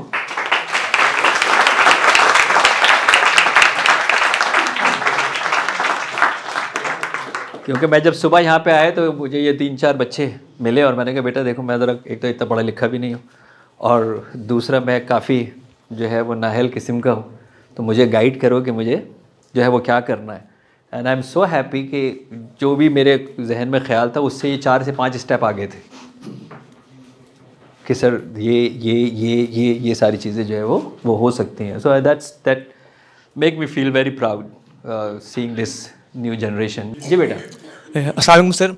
सर क्वेश्चन मेरी ये कि दो क्वेश्चन है मल्टीपल कि एक इश्क में जज्बात या इमोशंस का होना ज़रूरी है। एक एक करके पूछिएगा। मैंने कहा ना सवाल एक एक करके पूछते फिर आप ही पूछ लीजिएगा दूसरा पूछ लीजिएगा। बेटा हमारा reason of action is always based on our emotions हमारा कोई अमल हो नहीं सकता जिसके पीछे जज्बात नहीं होंगे एहसास नहीं होंगे। मैं कुछ भी नहीं कर सकता अगर मेरे पीछे एहसास और जज्बात नहीं है। आप जो यहाँ पे तशरीफ़ लाए हैं वो एक अमल है। उसके पीछे भी एक जज्बाती रीज़न है एहसास का रीज़न है। तो हम अपने ख्याल को जज्बात और एहसास में, अपने एहसास को अमल में और अपने अमल को नतीजे में तब्दील करते हैं। ये है साइकिल। तो ऐसा नहीं होगा कि जज्बात ना हो। वो जब नहीं होंगे, या तो हम जहनी तौर के ऊपर उस साइकोसिस में चले जाएँ, जहाँ पे हम हकीकत से दूर चले गए मजनू जिसको कहते हैं आप, और या फिर हमारा सांस चलना बंद हो जाए। वरना हर शख्स एक जज्बाती वजूद रखता है। और वो जज्बात का इजहार हम करते हैं कभी खामोशी से कभी आवाज़ से और कभी अपने हाथों से। वो हम करते ही करते हैं करते ही करते हैं। जी दूसरा सवाल। सर कैसे नहीं है कि कुछ कहने वाले कहते हैं कि जो वाल, वालदेन के साथ लगाव जो है आपका वो एक फितरी अमल है वो मोहब्बत नहीं होती है इश्क नहीं होता वो। सर क्वेश्चन मेरी ये कि क्या हकीकत है कि कोई ख़ास पर्सन ही आप उसको मोहब्बत के लायक समझते हो और जो वालदेन है या आपके बहन भाई हैं, वो आप फितरत समझ के उनके साथ जो है ना एक लगाव रखते हो? इंसान जिसके साथ थोड़ी ही भी देर के लिए भी रहता है, उसकी फितरत ये है कि वो उसको, उससे लगाव हो जाता है। इंसान जिसके साथ थोड़ी भी देर रहेगा, उसकी फितरत ये है कि उससे लगाव हो जाएगा। आज अब आप कितने बड़े हो गए हो कि अभी भी आप अपनी कुर्बानी के जानवर के साथ अपना टाइम अटैच करते हो या नहीं करते हो उसको चलाते हो ठहराते हो पानी पिलाते हो घास खिलाते हो शौक से लाते हो और जब अपने हाथ से उसको ज़िबा करते हो तो आपको तकलीफ़ होती है। तो सही ना? इतनी सी देर के लिए भी आपको उससे लगाव हो जाता है। वो इसलिए कि हमारी जिबलत में शामिल है हमारी ये फितरत में शामिल है। तो वो माँ जिस जिसने नौ महीने पेट में रखा आ, उससे एक लगाव एक फितरती लगाव है। वो बाप माँ बाप जिसके साथ आप रहे हैं, आपके इन्वायरमेंट में रहे हैं तो उससे लगाव एक फितरती लगाव होता है।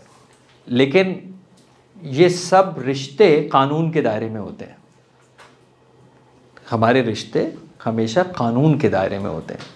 वो इखलाक़ी कानून के दायरे में भी होते हैं, इल्हामी कानून के, जिसको हम, कानून आखरत कहते हैं, वो उसके भी होते हैं और बाज़ दफ़ा दुनिया की भी रिलेशनशिप के अंदर होते हैं। आप कोर्ट जाते हैं ना, मियाँ के हकूक़, बीवी के हकूक़, कोर्ट मैरिज यही होते हैं ना। हम इसमें भी रखते हैं। या बच्चे बाप के ख़िलाफ़ कोर्ट में खड़े हैं, जायदाद मांग रहे हैं so on and so forth तो इसका मतलब हम कानून के दायरे में रहते हैं। और इसीलिए आप नाफरमान भी देखते हैं और वालदेन को आग करते हुए भी जो है वो देखते हैं। जो फ़राइज़ पूरे नहीं करते वो ऑब्वियसली वो हकूक़ की खिलाफ वर्जी कर रहे होते, इसलिए मैं बड़े बाबांगे दोहल ये कहता हूँ कि हर माँ के कदम तले जन्नत नहीं होती। हर बाप की दुआ कबूल नहीं होती। क्योंकि ये क्वालिफाइड इसके लिए क्वालिफाई करना होता है। क्वालिफाई का मतलब ये कि कानून की पासदारी की है, फ़राइज़ पूरे किए हैं, अब आपका ये हक़ है कि आपको ये मिले। आपका यह हक़ है कि आप रब ताला से उसको, के लिए रुजू करें कि जी मैंने अपने फ़राइज़ पूरे किए हैं, रब ताला मेरे लिए जो हकूक़ है, वो उसका मैं कैंडिडेट हूँ। तो माँ बाप के ज़ाहिर फ़राइज़ हैं? बिल्कुल हैं। माँ बाप ने अपने फ़राइज़ पूरे किए, आपको इस काबिल बना दिया, आप बालग हो गए से पूरी इक्वेशन चेंज हो गई है।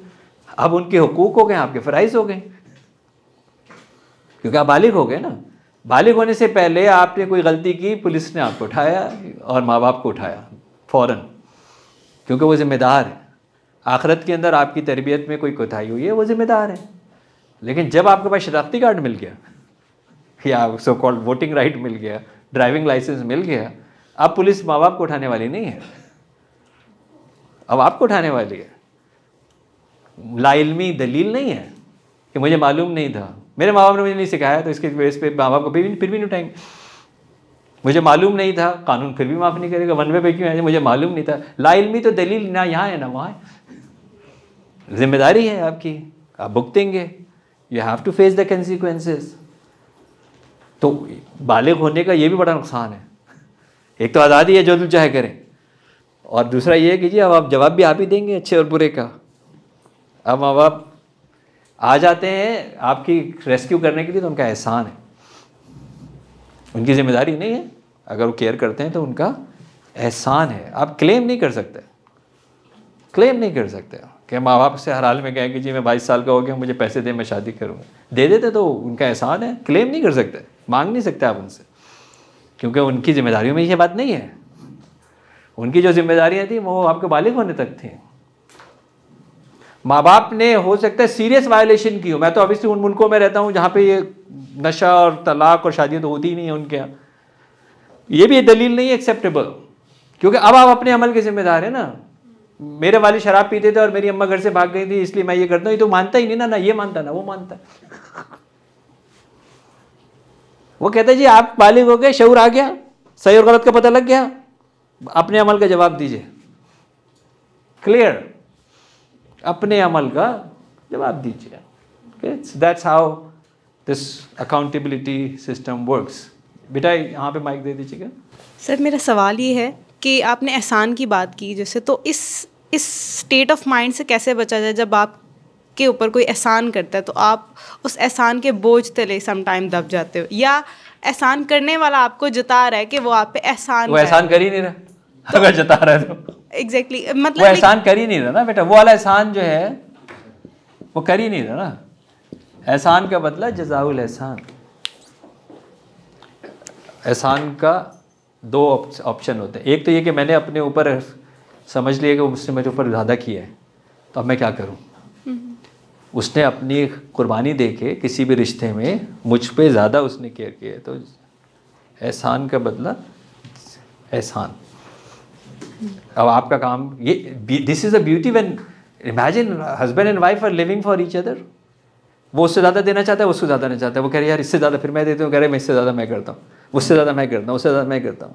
तो can you imagine the beauty of the relation एक खातून है, सारा दिन घर में परेशान है, चौदह घंटे की लाइट नहीं है, बच्चे अलग बीमार है, माशी तंगी है क्योंकि जो भी मीशत का हाल है और सर में शदीद दर्द है, शौहर जो है वो बेचारा बाहर पता नहीं किस किस जो है वो फेसेस को जो है वो देख रहा है और वो घर के अंदर आके पूछता है, कैसे नहीं, अल्लाह सही है मेरे को और वो कह रहे, बाहर क्या कह रहे, नहीं सही अल्लाह का शुक्र सही हो जाएगा। टेक्निकली तो झूठ बोल रहे हैं ना दोनों। लेकिन उसको बताया थी बेचारी को बताऊँगा। एग्ज़ाम्पल मैं मैंने जब मैं पाकिस्तान आया हूँ तो उस वक्त तो कराची के जो हालात थे उसमें तीस चालीस लाशें पर डे गिरती थी। और हमारे सारे दोस्तों के बच्चे अगवा हुए हुए थे रैनसम के लिए। उसके अंदर ऑब्वियसली मैं भी कारोबार करता हूँ बड़ा कारोबार करता हूँ तो ऑफ़िस के अंदर मैं कितनी चीज़ें फेस करता हूँ मैं अगर ये सारी चीज़ें घर जाके बता दूँ अपनी बेगम को बेचारी तो घर बैठे बैठे मर जाएगी। कि पता नहीं कल वापस आएगा नहीं आएगा पता नहीं क्या होगा उसका। और इसी तरह घर के अंदर जितने चैलेंजेस थे, वो मुझे नहीं बता रही, मैं उसको नहीं बता रहा। और दोनों एक दूसरे को कंसोल करने के लिए, दोनों एक दूसरे को हैप्पी रखने के लिए मालूम को छुपा रहे हैं। टेक्निकली तो लगता है ना, झूठ बोल रहे हैं। लेकिन किस दर्जे पे काम कर रहे हैं? एहसान पे काम कर जो आदमी आपको ये कह रहा है ना, देखो, मैं तो मेरा एहसान किया है। ऑनेस्टली वो इससे भी कहीं नीचे है। उसके लिए जो है वो, मैं आपको बोल नहीं सकता, लेकिन मैं उसके लिए लिख देता हूँ। अच्छा इसको हम गाली समझते हैं ना। इसके, इसका जो माने है, वो है कि वो ज़िल्लत के ऑपरेशन में होता है। है ना? यानी वो, उसका काम ये है कि मैं किसी को ज़िल्लत पहुँचाऊँ। ये मोहब्बत की ऑपोजिट है, बहुत से लोग इसको भी मोहब्बत समझते हैं। तो मैंने कहा था ना, मैं तेज़ाब फेंक दूँगा, मैं यूँ कर दूँगा, मैं शादी नहीं होने दूँगा, मैं जाने नहीं दूँगा, मैं यूँ कर दूँगा। वो सब यही है। यानी वो ज़िल्लत के माइंड फ्रेम पे काम करता है। तो जो शख्स एहसान कर रहा है, उसका इससे क्या ताल्लुक है? उसका इससे क्या ताल्लुक है? तो एक्चुअली इंसाफ बराबरी की बात है, वो तो इससे भी ज़्यादा चाह रहा है। इससे भी ज़्यादा चाह रहा है ना। इमोशंस खरीदना चाह रहा है। वो चाह रहा है दस रुपये दो, सौ रुपये की तारीफ़ करो। ऐसे ही है ना, वो वो कौन सा कारोबार कर रहा है? तो इसलिए अगर आपको कह रहा है, मैंने तुम्हारे ऊपर एहसान किया तो आप कोशिश करें कि उससे कितनी जल्दी फासला हासिल कर सकते हैं। अगर कोई किसी पे एहसान कर रहा है वो ये नहीं सोच रहा कि मुझे वापस भी कुछ चाहिए या एहसान का बदला एहसान चाहिए। अब वो अगले बंदे से ये तो एक्सपेक्ट करता है ना कि ये भी मेरा खैर ख्वाह होगा या ये मेरे बारे में गलत बात नहीं करेगा कहीं पर कुछ इंसाफ चाहता है। वो यहाँ है ही नहीं ना। आप उसका लफ्ज़ गलत इस्तेमाल कर रहे ठीक है यहाँ मैं एहसान ये है टू वे ये है टू वे इक्वल मैंने ये किया है तो मेरे एक्सपेक्ट क्या कर रहा हूँ कि आप? यही करेंगे। ठीक है? मेरा क्या है? यही करेंगे। क्योंकि जब मैंने किया है तो मेरी तो क्या है कि मुझे भी ये मिले। तो है ना? मैं तो लेवल बता रहा हूँ आपको गलत सही नहीं बता रहा हूँ। मेरी तो ये कि मैं आपसे बात कर रहा हूँ मुस्कुरा के तो आप मुझसे मुस्कुरा के बात करिए। मेरी तो है और सही है। ये मेरी ख्वाहिश गुमान सही है। भाई मैं आपसे प्यार से बात कर रहा हूँ तो आप मुझसे क्यों चिक के बात कर रहे हैं? लेकिन ये जो लेवल में ऑपरेट कर रहा हूँ ना, वो है ये। वो है ये। प्लस उसने मुझसे चीख के बात की। मैंने तहमुल से सुनी और उसके बाद मैंने उसका जवाब तहमुल से दिया, नरमी से दिया। तो मैं क्या कर रहा था? उसको ज़रूरत ज़्यादा थी ना, उसको ज़रूरत थी ना कि वो सेटल डाउन हो जाए। वो इमोशनली काम डाउन हो जाए तो मैंने अपने रवैये से क्या किया? ये। और जब वो सेटल डाउन हुआ तो मैंने उसके बाद पूछा कि भाई, क्या हो गया? खैरियत है, घर में सब सही है, कोई मसला तो नहीं है, किसी चीज़ की ज़रूरत तो नहीं है, मैं तुम्हारे के काम आ सकता हूँ। अब मैं कहाँ आया? कहानी कहाँ से शुरू हुई थी? गाली से। गाली से। गाली का मतलब सख्ती से। ऐसे ही है ना? यहाँ से शुरू हुई थी। मैं सिर्फ़ आपको ये कह रहा हूँ कि आपने सिर्फ़ ये आइडेंटिफाई करना है कि एट दैट पर्टिकुलर टाइम आप ऑपरेट कौन से मॉडल में कर रहे हैं? कि कौन से मॉडल में कर रहे हैं? ये रैंकिंग है ना? आप इसको ऐसे कर लें या ऐसे लिख लें। बॉटम पे ऑपरेट कर रहा हूँ मिडिल पे ऑपरेट कर रहा हूँ। हाई लेवल टॉप पे ऑपरेट कर रहा हूँ। अल्फाज इंटरमिक्स हो रहे हैं खाली। तो नहीं रह सकते। एहसान में तो नहीं होती। एहसान में तो होती नहीं है। जैसे इश्क में कोई तो नहीं होती। सर हम एहसान की बात तो होती है? किससे तो होती है? कि मैं उसका हुक्म पूरा कर रहा हूँ। अच्छा मज़े की बात यह कि ये भी इश्क के खुदाबंदी का लोएस्ट लेवल है। ये भी इश्क खुदाबंदी का लोएस्ट लेवल है। मेरी तो सिर्फ़ ये है कि यार रब राज़ी है। कि यार रब मेरे से राज़ी है। लेकिन अगर मैं ये कह रहा हूँ कि रब मेरा बदला वहाँ मुझे इसका दे दियो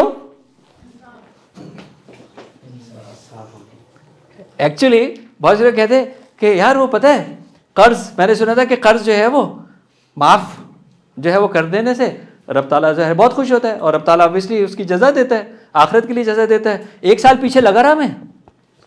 फिर मैं, फिर मैंने उसको माफ़ किया और फिर मैंने कहा, आखिरत में ले लूँगा।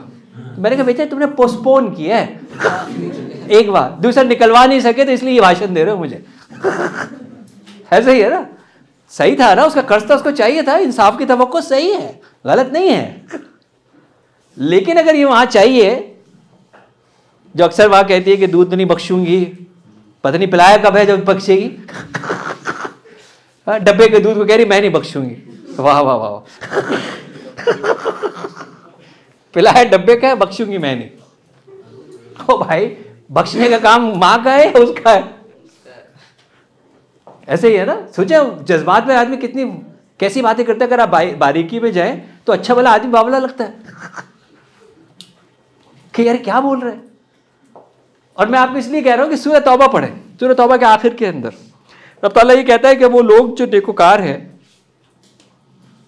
उनके लिए बेशक आखरत पे घर हैं, जन्नत में घर हैं और उसके नीचे नहरें बहती हैं। मेरे लिए ऑपरेशन है ना, मैं इसलिए नमाज़ पढ़ रहा हूँ, या रब से कि अल्लाह मियाँ मुझे जन्नत में भेज दे। सही है? एक लेवल है। या अल्लाह मुझे दो जख्म में नहीं डाली, मैं इसलिए कर रहा हूँ। ऐसे ही है ना? तीसरा ये कि मुझे क्या पता जन्नत दो क्या चीज़ देती है? रब, तूने मुझे कहा है मैं कर रहा हूँ। तूने कहा है मैं कर रहा हूँ। तो इसीलिए जब इस आयत की तर्जुमे की तर्जुमानी आप पढ़ेंगे तो कहेंगे, जी, बेशक नेकोकारों के लिए जन्नत जन्नत में घर है। उनके नीचे नहरें बहती हैं। लेकिन इससे बढ़कर ये कि उन्हें अल्लाह की खुशनुदी हासिल होती है। That is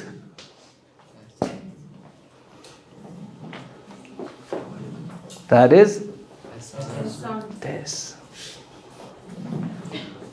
कि रब से मुलाकात होगी। रब के पास होऊँगा।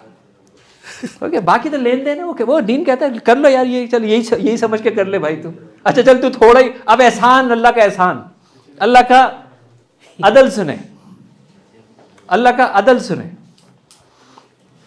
क्या कहता है? नेकी की नियत करोगे, लिख दूँगा।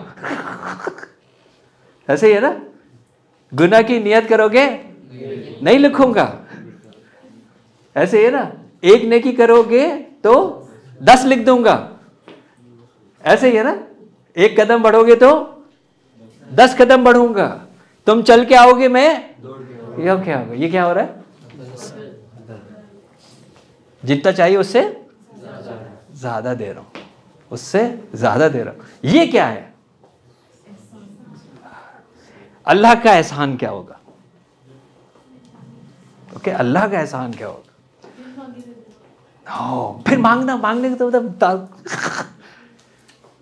मांगना नहीं है ना। एहसान अल्लाह के क्या होगा? खुद ही को कर बुलंद इतना कि हर तकदीर से पहले खुदा बंदे से खुद पूछे, बता तेरी रजा क्या है? रब राज़ी करना चाहे बंदे को। यह है वो रब से मुतमना क्या रब राज़ी करना चाहता है? इसका मतलब क्या है? रब की रब के लिए बाइंडिंग है क्या आप, आप मखलूक को राज़ी करें? खालिक के लिए बाइंडिंग है? वो क्या कर रहा है? अपने से आगे बढ़ के यही है ना एहसान क्या है? अपने से आगे बढ़ के रब कह रहा है मैंने बंदे को राज़ी करना है. रज़ी अल्लाह अन रिजवान अजमैन ये वो लोग हैं कि जो अल्लाह से राज़ी होगा कितना बड़ा मकाम है। और रब इनसे राज़ी हो गया। ये है वो लेवल जहाँ पे रब एहसान के दर्जे पे जो है वो आता है। तो सोचें कि बंदा अगर अपने आप को एलिवेट करे, बंदा अपने एक साथ काम करे तो कहाँ तक जा सकता है? ऐसे ही है ना? कहाँ तक जा सकता है? और हम तो यहाँ से निकल ही नहीं रहे बाहर। ऐसे ही ना? हम तो वहाँ से निकल ही नहीं रहे। जी बेटा। सर, हम तो एहसान की बात करते हैं कि किसी पे एहसान करना चाहिए, लेकिन हम सर सर ये भी सुनते हैं कि जिस पे एहसान किया जाए, उसकी शर से बचो। अगर मैंने शर से बचना है तो एहसान क्यों करूँ सर? देखिए, जब हम आय मुबारक पढ़ते हैं और जब हम रसूल पाक सल्लल्लाहु अलैहि वसल्लम का फ़रमान पढ़ते हैं, या जब हम सहाबा कराम के फ़रमान पढ़ते हैं, या तो उसमें एक चीज़ बड़ी इंपॉर्टेंट है और वो होता है तनाजुर। किस कॉन्टेक्स्ट में ये बात की गई है? बट इसका मतलब ये है कि एक माहौल था, उसमें किसी का सवाल था, कोई वाक़ हुआ था, और उस वाक़े के जवाब में ये जवाब दिया गया। आय मुबारक लिखी हुई नहीं आई हैं। तख्तियों पे नहीं आई हैं। एक मुकम्मल किताब तौरेत और इंजील की मौजूदगी में कुरान पाक आया है। किस तरह आया? तेईस साल तक में आया। किस तरह आया? एक मौका हुआ, एक सवाल हुआ, एक ज़रूरत हुई, रब ताला ने वही को भेजा। सरकार आलम सल्लल्लाहु अलैहि वसल्लम ने बयान किया। कम अज़ कम एक शख्स मौजूद था, तभी तो किसी को तो बयान किया होगा ना। और उस तनाजुर में उस सवाल का जवाब दिया गया। तो अगर हम उस तनाजुर से हट के बहुत सारी चीज़ें जनरलाइज करेंगे तो कंफ्यूज हो जाएँगे। तो जब हम इस तरह के फरमान सुनते हैं तो ये बड़ा अहम टॉपिक है रिसर्च का, कि ये किस तनाजुर में ये बात हुई थी? किस सवाल के जवाब में ये बात कही गई थी? कॉन्टेक्स इज़ सो इंपॉर्टेंट और फिर किस तरह हम हो तक पहुँची? मैं आपको गारंटी के साथ कह रहा हूँ, मैं तकरीबन डेढ़ घंटा होने वाला है जब से मैं आपसे बात कर रहा हूँ। रिकॉर्डेड भी हुआ हुआ है, ऐसे ही ना शायद बाद में आ भी जाएगा। आपसे मैं गारंटीड कह रहा हूँ कि आपसे अगर कोई बाहर जाके पूछे कि डॉक्टर इमरान ने क्या कहा, आप सब अलग अलग जवाब देंगे। आप सब अलग अलग जवाब देंगे। जबकि मैं यहाँ खड़ा हूँ, सब एक ही बात सुन रहे आपके सामने मौजूद हो, फिर सब अलग अलग कैसे जवाब दे रहे हैं? क्योंकि हमारे फिल्टर्स हैं डिलीट डिस्टॉर्शन जनरलाइजेशन हमने किस चीज़ से कौन से वाले को लिंक किया? हमने कौन सी बात डिलीट कर दी, कौन सी रख ली? कौन सी बात के मतलब हमने चेंज किए कौन से रख लिए कौन सी चीज़ों को हमने जनरलाइज कर लिया? और फिर उसके बाद हमने जाके ये कहा। तो बहुत ज़रूरी है कि हम कॉन्टेक्स की बात करें। रसूल पाक सल्लल्लाहु अलैहि वसल्लम एक एक बात तो बड़ी तय है ना कि, कि नाउजुबिल्ला क्या ये मुमकिन है कि रसूल पाक सल्लल्लाहु अलैहि वसल्लम का कोई भी अमल कुरान के खिलाफ? मुमकिन नहीं है ना साहिब कुरान कुरान के खिलाफ तो नहीं हो सकते ना? ज़िंदा कुरान। वैसे ना नबी का मौजा कुरान। रसूल पाक वसल्लम और ये भी अल्लाह तबारक ने फरमाया कि अल्लाह के रसूल अपनी मर्ज़ी से कुछ नहीं फरमाते। रब ताला जो कहते हैं, वही फरमाते हैं। अब अल्लाह के रसूल वसल्लम ने फरमाया कि जो अपने जेर नगी से अच्छा है, जो अपने अहलो अयाल से अच्छा है, वो जन्नत में मेरा ऐसा ही करीब होगा जैसे ये दो उंगलियाँ तो इसका मतलब है कि वो लोग, इसलिए सबसे बेहतरीन सदका जो आप अपने घर वालों पर खर्च करते हैं। सबसे अच्छा शख्स कौन है जो अपने घर वालों से अच्छा है? या जेर नगी का मतलब है जो, जिनकी ज़िम्मेदारी आपके ऊपर है। अब अल्लाह के रसूल ने ये बात बताई है, कुर्बत। इसमें क्या डाउट हो सकता है? ऐसे ही है ना? लेकिन कुरान पाक की आयत कहती है कि ये बीवी औलाद तुम्हारे लिए फितना है। कैसे कंट्रोडिक्शन लगता है?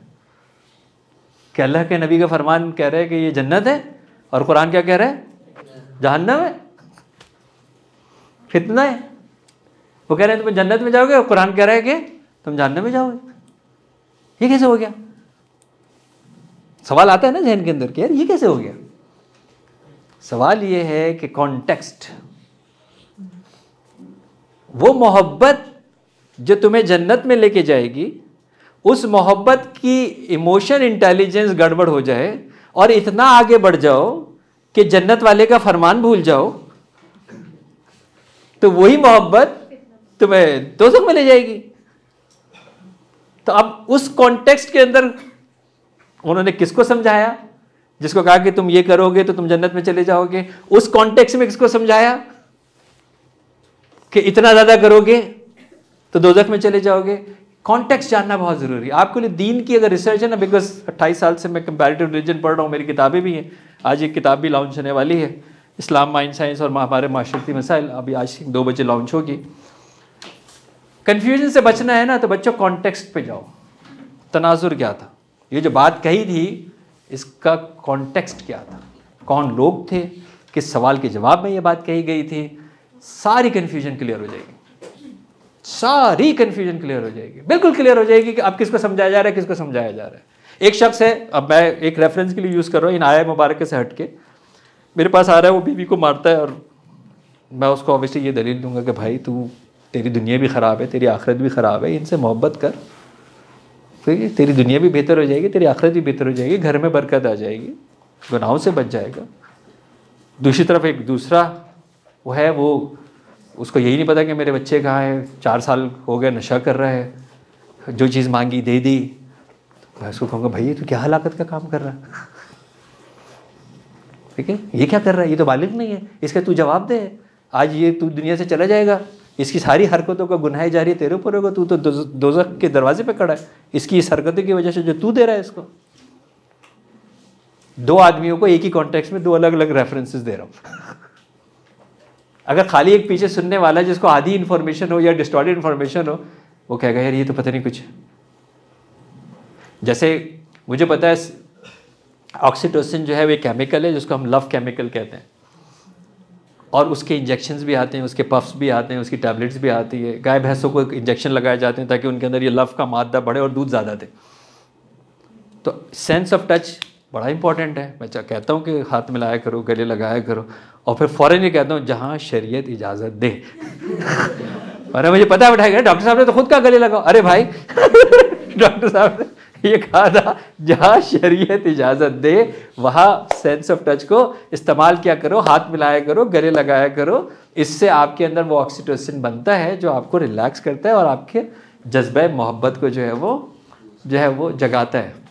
जी I think will be the last question sir आजकल एक ग्रेजुएट स्टूडेंट के लिए एक इशू आ रहा है सर वो कह रहे कि ग्रेजुएशन के बाद हम अब्रॉड कंट्री चला जाए।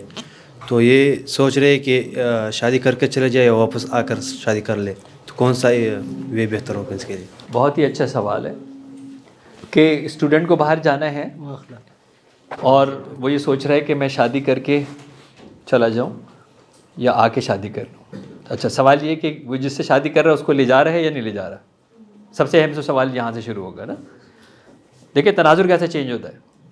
मेरे पास मैरिज काउंसलिंग के लिए आज जब आते हैं, और ऑब्वियसली एक सेपरेशन की कहानी हो चुकी होती है बाद दफ़ा खुला भी फ़ाइल हुआ हुआ होता है।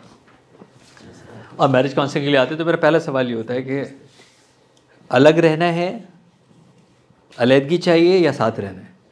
क्योंकि फिर मेरी गाइडलाइंस वहीं से शुरू होगी कि अगर अलहदा रहना है तो उसका ऐसा तरीका क्या होगा और अगर साथ रहना है तो उसका ऐसा तरीका क्या होगा ना? कॉन्टेक्स्ट तो डेवलप करना होगा ना?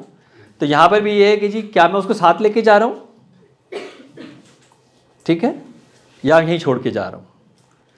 अगर मैं अफोर्ड कर सकता हूँ कि मैं उसको साथ लेके जा रहा हूँ तो फिर तो इससे अच्छा कोई सिनेरियो नहीं है। क्योंकि it will be a very good support afford कर सकता हूँ, बड़ा इंपॉर्टेंट है। जब हम अफोर्डेबिलिटी की बात करते हैं ना तो हम सिर्फ़ शायद इसको अफोर्डिंग समझते हैं। नहीं, मैं कह रहा हूँ, क्या मैं जिस्मानी तौर पर, आसाबी तौर पर, वक्त के तनाजुर में, अगर मुझे पढ़ना भी है, मुझे काम भी करना है तो मैं अगर वो टाइम दे सकूँगा या नहीं दे सकूँगा, जो उसकी रिक्वायरमेंट है और अगेन फिर क्या मैं अपने पार्टनर के साथ उस फैमिली प्लानिंग की बात कर चुका हूँ कि अगर हमें ज़िंदगी में बच्चा लेके आना है, जिसके हमें इख्तियार दिए गए और जिसके हम जवाबदेह हैं, उसके लिए हम तैयार हैं। अगेन जिस्मानी तौर पर, माली तौर पर, आसाबी तौर पर, बच्ची की सेहत के तौर पर क्या हम उसके लिए तैयार हैं? That is how it will be plan और अगर ये सब नहीं है,